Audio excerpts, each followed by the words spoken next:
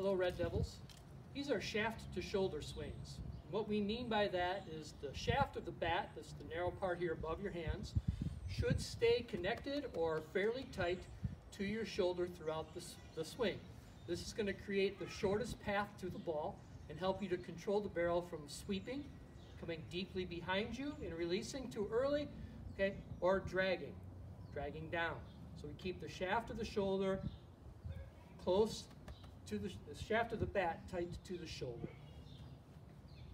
What we're going to do here is we're going to come through, we're going to snap through the ball and stop at extension because we can also work on the other side of the swing or contact point. So I'm going to go short to the ball by staying shaft to shoulder and then long through it.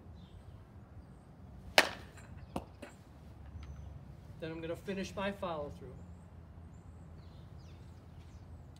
Short to it, long through it.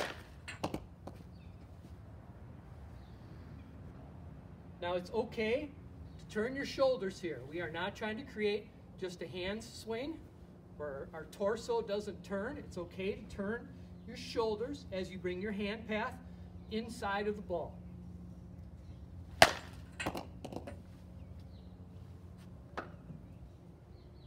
Always trying to create that rising line drive.